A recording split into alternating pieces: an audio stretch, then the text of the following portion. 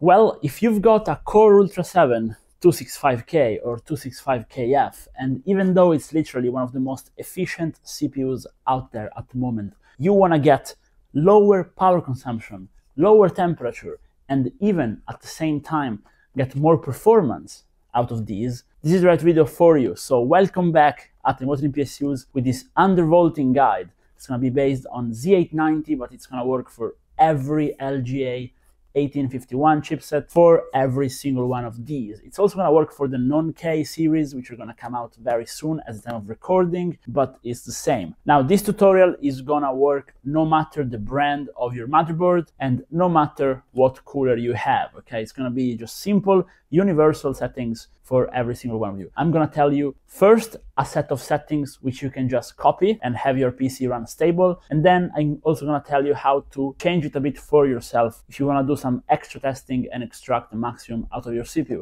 So I wanna keep it nice and short, but before we get started, promise me one thing. At the end of the video, if the video is gonna be helpful, you will drop a like and subscribe. If it didn't work for you, I don't want your like, I don't want your sub, but if it does, I want it. So I can bring you guys more CPUs, more GPUs. The goal of my channel is to cover every single piece of hardware in the market. That said, let's go into the BIOS. Let's start tuning. Okay, so here we are in the BIOS. Now, first thing, this is gonna work for every single maker of your motherboard. So this is MSI, but if you have an Asus, Gigabyte, ASRock, BIOStar, it's gonna be all the same. The only thing that changes is gonna be the naming a little bit, but I will try to tell you all the different naming so you're not confused, okay? First thing we wanna do is going to the advanced mode, which in my case you do by pressing F7. And once here we want to go into the overclocking or AI tuner or OC tab. Is going to be where you basically change all our settings. Now, the first thing we want to do, which is not actually part of the undervolting tutorial per se, but make sure you do it, is going to be enable the XMP. So the extreme memory profile, this one over here, you want to put it on profile one. It's going to be disabled normally. Put it to profile one. But then you want to test this separately because if you enable this, your PC may become unstable. So test this out separately. Then we can start with the actual undervolt. Undervolting itself, you want to go all the way down over here until we go on the voltage settings. And now we will have two different settings, VCC core voltage and CPU core voltage. Now, different motherboards will have slightly different naming, but it's not going to be a big deal. What you want to do is go into the mode and put it into offset mode, and then put the minus, and then you want to put 0.05 over here, and on the CPU core voltage mode, you want to go offset here too, minus here too, and put 0.05 over here as well. And now if you want to just do the undervolting for temperature, power consumption, and a little bit of performance, you could actually close the video already. So just hit F10, save your settings, close the video, you would be done. I don't want to waste your guys' time. Just if you close it, maybe drop a like and subscribe. But in case you want to stay, I will show you one more setting for performance and then show you the other option, which is to go and do a fully static undervolt which I recommend less actually. The other thing we want to change is go all the way on top and you will have a performance preset, which in MSI motherboards is called MSI performance preset, but in other motherboards may be called CPU cooler tuning or power limit tuning or something along these lines. Anyways, you will recognize it because it's going to be called Intel default setting.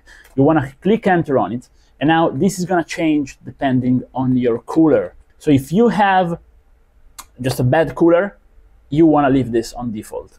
But if you have an all-in-one, even a decent one, you want to put the, the second setting or the third setting, uh, basically.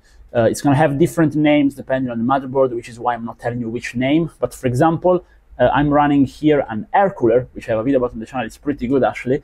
So I would put the MSI performance setting. But if you're running, for example, a very good water cooler, you can go with MSI Extreme setting. But if you have a very, very good water cooler, you want to put the unlimited one. But again, this is going to vary depending on what you have. So this is it. Undervolting is done. If you want to do the dynamic one. Now, if you want to stay, I'm going to show you guys how to do uh, the static one as well. So for the static undervolt, you don't have to do any of the previous step. You just want to enable the extreme memory profile and then we can actually start. So I will just reset my settings in the BIOS quickly, and we can now start again. So if we want to do the actual manual tweaking, we're gonna set a static P-core ratio and a static E-core ratio. And that's gonna basically allow us to go even lower with our voltage. Now to do that, we want to go ahead and go on the P-core ratio and put this one at 54, which is our stock frequency for the P-cores. Now you will need to use the MSI Unlimited settings for this preset, but you better just unlock this in general. Now, we want to go on the E-core ratio and put this one at 46. So with those two done, we now just need to change the voltage. And now for the voltage, you will see we now unlocked different tabs. So we can now do our P-core voltage and our E-core voltage, which we could not do if the PC was at stock. So at this point, we can do two different undervolts. Dynamic one, which is going to be offset minus on both of them.